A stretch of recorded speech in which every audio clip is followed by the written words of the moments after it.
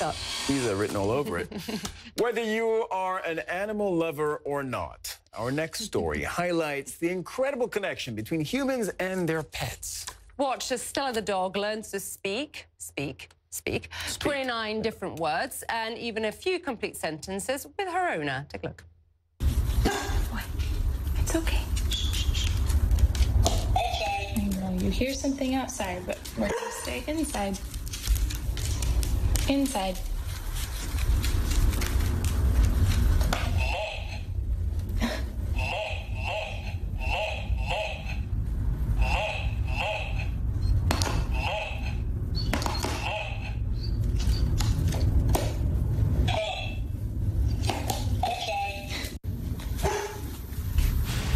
We're joined now by Christina Hunger, a speech pathologist in San Diego, owner of the very clever Stella, whom you saw there. Uh, so, Christina, what does Stella say the most? Let's start with that.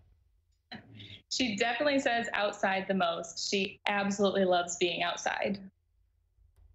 Uh, talk us through, Christina, how how you noticed or how you developed the language with Stella? Because I know often with children it's a question of repetition, is it not? So is it similar when it comes to Stella? Absolutely. As a speech language pathologist, I honestly did the same thing that I do to help children learn to communicate. Lots of time, lots of practice, and lots of repetition. Um, I noticed how she was already communicating with her vocalizations and her gestures and I added words to it and gave her the opportunity to practice. Now, I noticed on your blog, on your website, you have a log of all the words that she says. There are a lot of actions like outside, eat, play, etc. But there are also sometimes emotions and feelings. Uh, I want us to take a quick look at this. Outside play. Love you. Love you too, Stella. So, Christina, what can you tell us about Stella's feelings and emotions? It's really cool to hear Stella communicate when she's happy or when she's mad. She even tells us love you when she is being affectionate with her. Um, to teach her those words, happy and mad, I just noticed when she was really excited and happy and kept modeling the words on her button, the buttons and verbally saying happy, happy, or if she was upset, um, you know, vocalizing, whining, not getting what she wanted, I would push the button and say verbally mad and tell her Stella mad. And that helped her learn how to say happy and how to say mad. Um, how many words can she say? Can she have a phrase, for example? I noticed in your blog a couple of one, two, word, mm. three words kind of put together. Do you think eventually, Christina, she'll be able to communicate with you? Yeah, she's already communicating really effectively. She combines up to five words in a row. Uh, most commonly, she combines three and four words to communicate. Um, I'm really excited to see in the next couple of years what communication skills she's able to do. This has only been a little over a year and a half. Isa's youngest son currently is one. One. You don't mind my sharing that. He's one and four months. He has three words: Mama, Papa, and Peppa Pig. So Stella, no, no offense and no insult intended here, but Stella currently speaks better than a one-year-old, yes. correct? I'm not crazy. offended at all. I just, I, I, just, I just think I might have to use this board for my child. One of the videos that really blew my mind was Stella panics when she presses a button and it doesn't work. So her form of communication mm -hmm. with mm-hmm. you doesn't work. And I, I want to play the video just after she pressed that button and there was silence. It didn't work.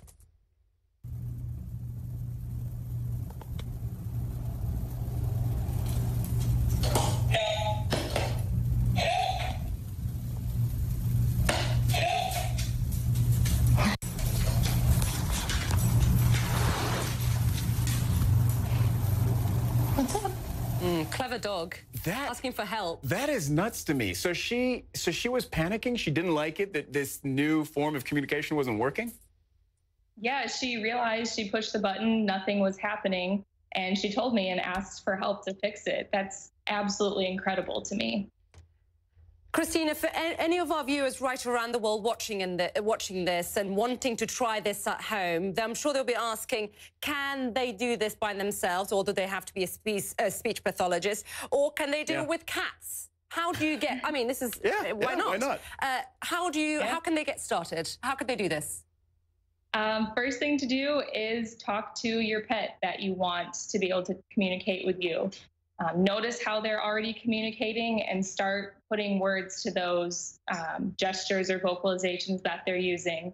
And then when you get the buttons and program them with those words, use them all the time and show your pet how to use them as well. Christina, can I ask to see Stella? I'm sure our viewers would love to see her as well. Is she around? She is. Let's see if she'll come say hi. Come here, Stella. Say hello. Come here, girl. Stella, look.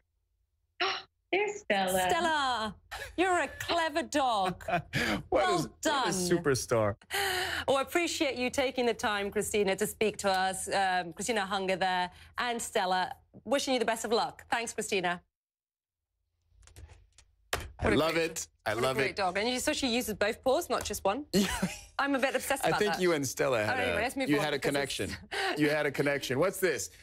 Does your dog have any special tricks or particularly flashes of brilliance? Send us a video on our Instagram page. This is us asking for some of your videos at your World CNN. And a public service announcement before we leave. Somebody please remove the access to our Instagram account to our executive producer Jason Morel. And Who's enjoying himself here, too much with Sarah. Chiplin, who, who created this beauty.